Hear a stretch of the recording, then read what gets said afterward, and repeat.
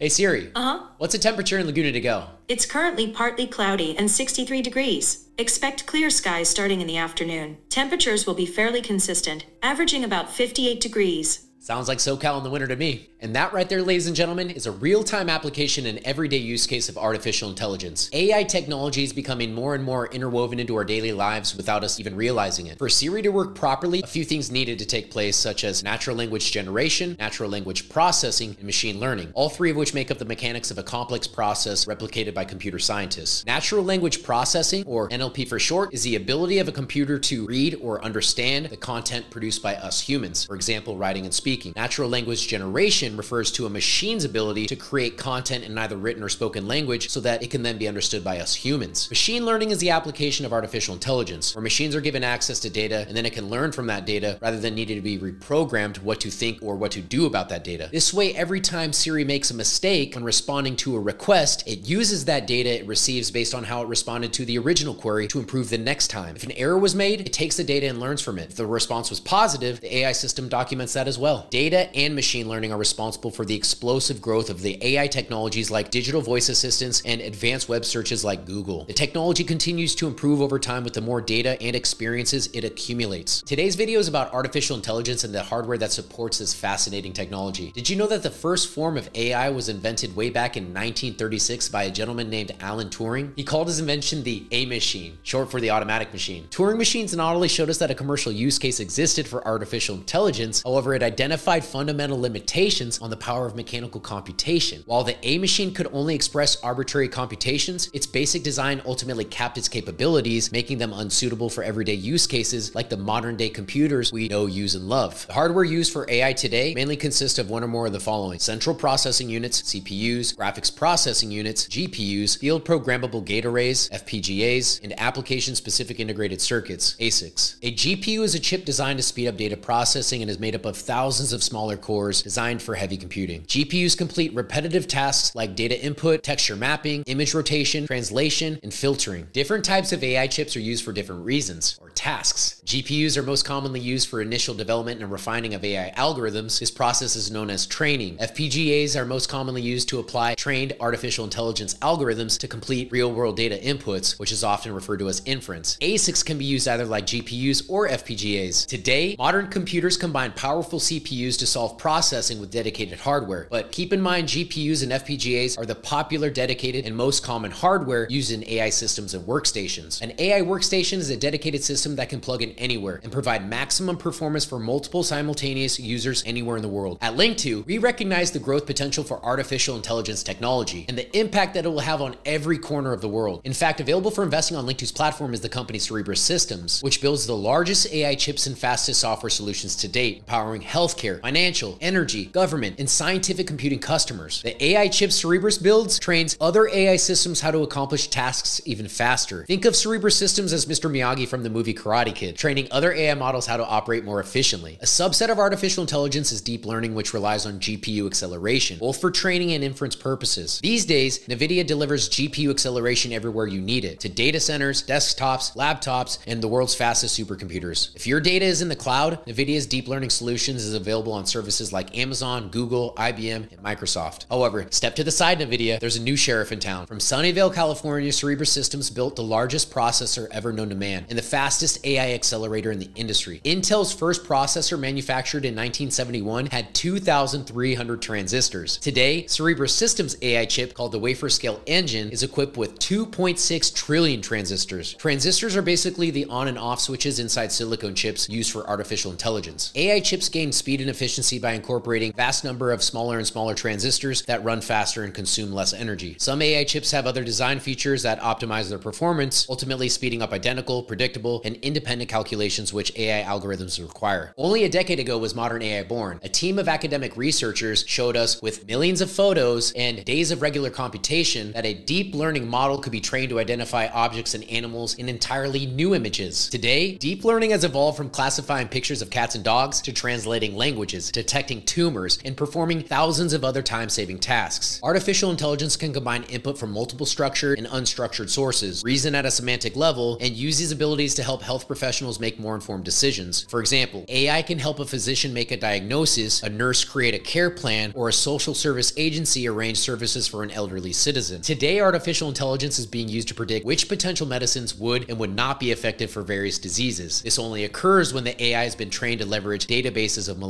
structures and using convolutional neural networks, a technology similar to the ones used to make autonomous cars drive by themselves. There isn't an industry that hasn't already been affected by AI technology. That's especially true in the past few years as data collection and analysis have ramped up considerably thanks to emerging IoT devices, including smart appliances, electric vehicles, AR and VR headsets, and smartphones in the hands of basically everyone around the world. According to Statista, there are over 6.5 billion smartphone subscriptions worldwide this year, which is up 85% since 2016, and the trajectory isn't slowing down one bit. As we progress into a world powered by artificial intelligence and quantum computing, where everyone is walking around with a supercomputer in their hand, we're going to experience an unavoidable and fatal bottleneck, which is memory bandwidth. AI and machine learning applications are driving the need for better memory performance, capacity, and overall power efficiency, challenging memory system designers of today on multiple fronts, all at the same time. According to OpenAI, artificial intelligence and machine learning training capabilities has increased by a factor of 300,000 from 2012 to 2019, doubling every three months. And the main reasons driving the advancements of artificial intelligence is algorithmic innovation and the quality of data and computing available today. The market for AI chips is growing incredibly fast. According to PitchBook, AI chip global sales grew by 60% in 2021 with a market cap of 35 billion. And according to Allied Market Research, the market is expected to grow to 194 billion by 2030. If you want to learn more about artificial intelligence or invest in the companies developing the hardware side of AI, like Linqto portfolio company Cerebras Systems, then visit our website, download our application, or reach out to any one of us on the team. I'll help you through every step of the process. That's all I have for you today. Have a great day, and I'll see you on the platform.